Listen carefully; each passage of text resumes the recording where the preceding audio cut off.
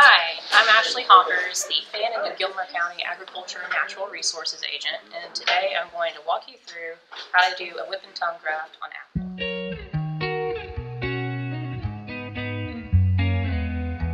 Um, before we actually do the graft, it's really important that you label your containers, have pre-made labels ready, have your budwood, rootstock, and the tape you will use to affix the graft together. To get started, and as you can see, um, we had limited stock available, and so we have different sizes here. And one of the objectives for grafting is to try to have as similar diameters for the scion leaves, so uh, the portion that's going to be fruiting for you, and the rootstock.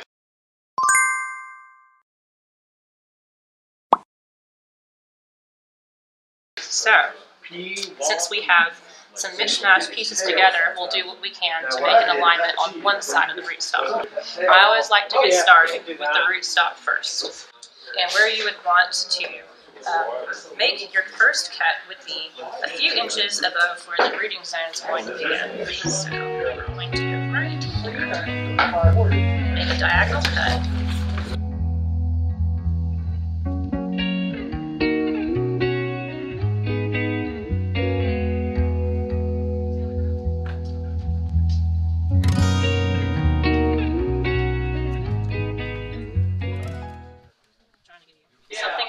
Keep in mind when you're grafting is to make sure when you cut your scion that the buds are facing upward. We don't want to graft the piece upside down. So uh, the goal for this is to make sure the cambium between the rootstock and scion align, and that is located right between the xylem and the phloem, right beneath the um, bark you can see here. Make our next cut in the whip tongue, the actual tongue. So we'll move about one third distance from the top and make a small cut against the tongue. And we'll do the same for the scion piece.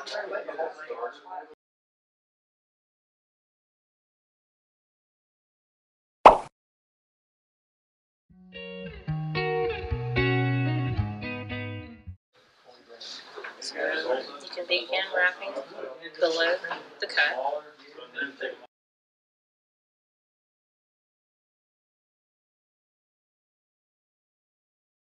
And then if you'd like, you can work your way back down. Though it's not necessary. Yeah. three inches.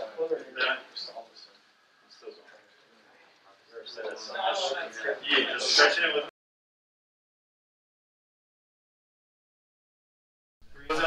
Alright, we have just completed the whip and tongue graft for apple. We've uh, union to secure it from the outside elements and prevent it from drying out. Now we will pot up the, uh, the grafted plant and water it in. I'm Josh Fuder with UGA Extension, here with my good friend Yanni Chin, and we are going to show how to um, do a graft when your rootstock is considerably larger than the scion you have. And so I've got some pretty small caliper material here for my scion, and this rootstock is pretty large. Whip and tongue or bench graft is probably not practical in this situation. I really like this graft. Um, both where we have to use it, but also for, for uh, first-time grafters or, or, people new to grafting.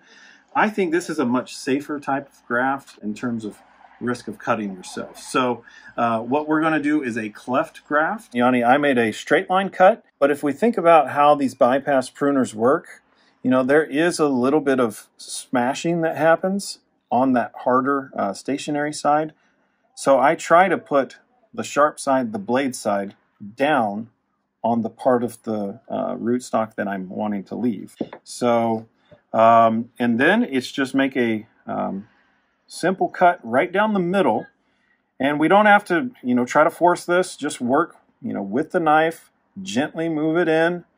And you can see, nice and easy. That's probably about as far as we want to go. We don't want to splay this piece open and lose that kind of natural, um, you know, tension. We just want to open it up like that. And then the nice thing is, um, you know, when we have a small piece like this, we're just basically sharpening this down, you know, to flat sides on either side. Again, the goal with, with grafting is always, you know, maximizing the cambial uh, contact. So, you know, it doesn't have to be perfect. You know, again, we're trying not to cut, touch these cut surfaces with the oils on our fingers and things like that. So I'm going to kind of open that up with my knife and then just slide this dude in. Um, and you can see here something to pay attention to is see that bud that's kind of halfway cut off? I'm going to go ahead and just cut it off completely. Now, being very careful to not, you know, splay open that bark any more than it already is. Um, but we don't want that bud, you know, thinking it's actually going to try to grow and, you know, maybe use up some resources from this young growing plant. All right, so and then trying to match it as much of where my cuts are. We're just going to touch cambium on one side, if you can see there, because that's all we were going to get anyway. So nice and flush on one side. We'll then wrap it up with parafilm like we would any other type of graft. And then here at the top, you can see we just want that parafilm to stretch and go over and close that area. I try to wrap a few more times. We'll use two pieces here um, because we don't want that to split open and you know expose all that to drying winds and sun and everything else. That's good enough right there. You know, I try to just leave two, three buds max. So you know, one, two, three at the most. We'll cut it right there. And our cut in that we just cut, little dab of nail polish is really all you need to keep that from drying out uh, down into the scion and a label. Uh, this is Roxbury Russet. So a label on there. It's ready to ready to let sit in the basement for a couple weeks. You know, I like to harden mine off. I leave them down here in the basement where it's cool and dark. 10 days, two weeks, and then I'll plant them. And I'll plant them to about right there. Cleft graft can work when our scion and rootstock are the same size. Generally, you're going to probably do a uh, whip and tongue graft. And I think this is a nice graft because it doesn't take much knife skill. And again, I'm just going in really, really slow, really slow, letting the knife do the work, splitting it about that far. And you can see here, you know, scion and rootstock are about the same size. And you can see here, I'm just making a long pulling cut and we'll match on that side right there. So we're still just matching on one side, but you can get the idea. You know, nice long slit, matching more or less at the top, and just maximizing that cambial contact. Cleft graft is a much more stable way if you're short on material, if you don't have a lot of extra to, you know, potentially lose and you're still learning these knife skills, um, this may be a more a guaranteed way to have a successful graft. Um, that's about all. Uh, this is a valuable graft, especially when we have, you know, quite smaller material. Thank you.